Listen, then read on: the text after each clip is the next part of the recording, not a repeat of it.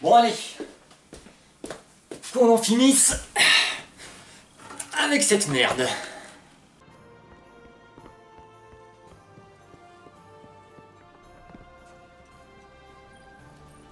Si vous cherchez quelque chose de nouveau, vous le trouverez chez Je Everversum. n'aurais jamais cru voir revenir les arcanistes.